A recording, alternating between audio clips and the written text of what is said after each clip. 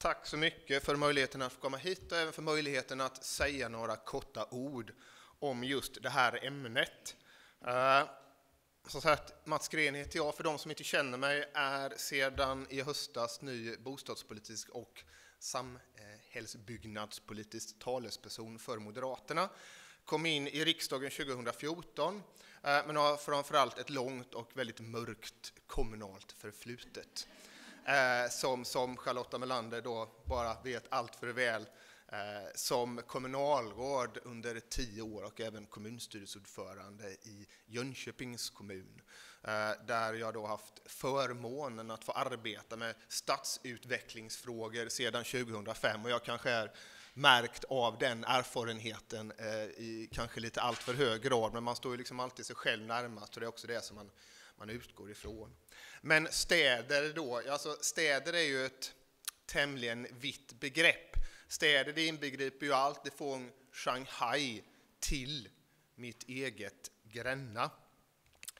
Och eh, ibland när man får frågan, eh, när man då pratar stadsutveckling, så kan man alltid få frågan att nej, men alltså, städer är väl så mycket mer än stadskärnan? Och på det brukar jag säga nej, egentligen inte.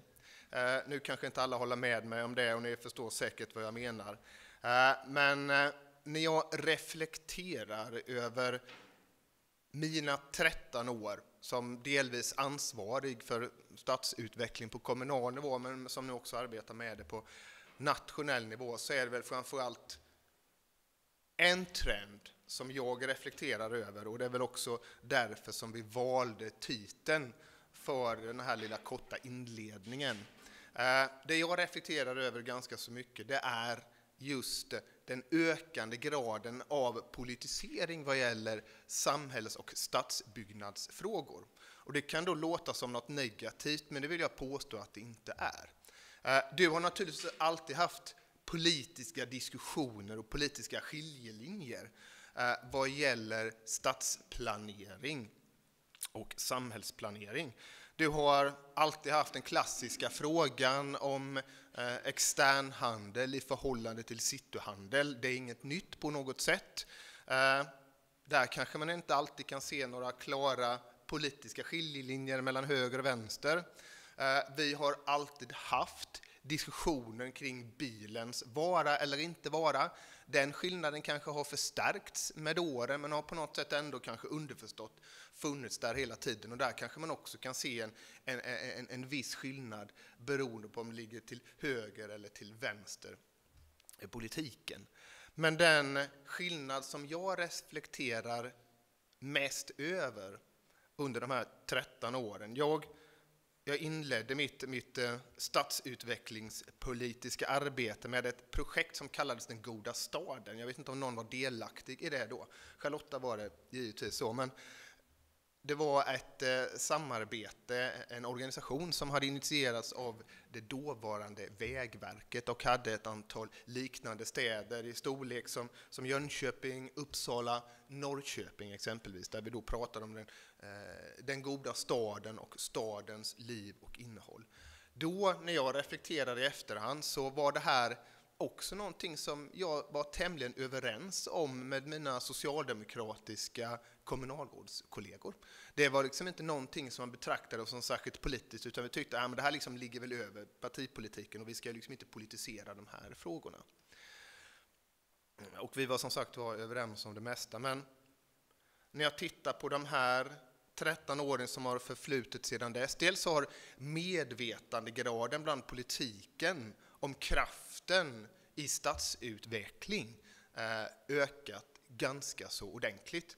Eh, och jag roade mig nu ändå med att eh, konstatera att jag har några mig närstående partivänner som har skrivit en bok som heter Liberal stadsutveckling. Eller Liberal stadsplanering heter den.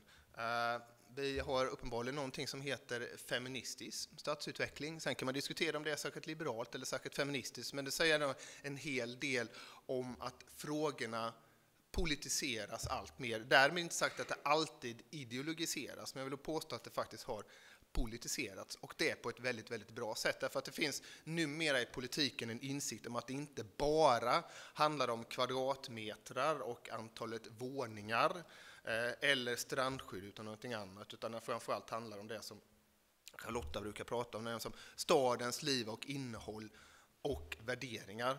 Jag tror det är du som också brukar nämna att, liksom att tidigare så flyttade man till städer på grund av att man fick ett bra jobb. Nu flyttar man till städer och olika typer av städer för att man vill ha en bra plats att leva på. Och min stora ingång i, i, i bostadspolitiken och samhällsplaneringsfrågorna eh, det är det att i allt för hög utsträckning så ser man exempelvis bostadsutmaningar och bostadssegregation och problem eh, med boendet. Alltså, man ser det som en reflektion av övriga samhällsproblem. Jag vill ju påstå att i mångt och mycket är tvärtom. Det är inte så att bostads utmaningen och problematiken kring det eh, är en reflektion av övriga samhällsvolymer. jag vill nog påstå att bostaden och planeringen där är i sin tur nästan den största roten till övriga samhällsproblem vi ser, allt från utanförskap, arbetslöshet, eh, frustration med mera, med mera. Och det är väl där som Eh, jag skulle vilja se ett skifte och ett konsensus i den nationella politiken om kraften i de här frågorna. Att det inte bara handlar om, eh, om teknik och plan och bygglov eh, utan att det framförallt handlar om värderingar. Det är inte bara så att det är människor som förändrar eller att det är människor som förändrar städer och dess planering, utan det är också så att städer och dess planering förändrar människor och deras värderingar. Och när man har den insikten så tror jag att då blir naturligtvis de här frågorna som vi ska diskutera här idag helt centrala. Eh, och jag vågar nog påstå att det här är inte någonting som någon skulle invända mot av någon av mina civilutskottskollegor, därför att där finns nog insikten tämligen brett.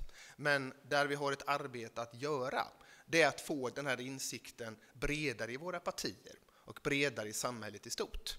Eh, och det är väl ett, eh, ett arbete som vi alla har eh, att göra. Men återigen, jättetack för möjligheten att få inleda helt kort här och se fram emot diskussion och information här under dagen. Men tack ska ni ha. Tack. En varm applåd.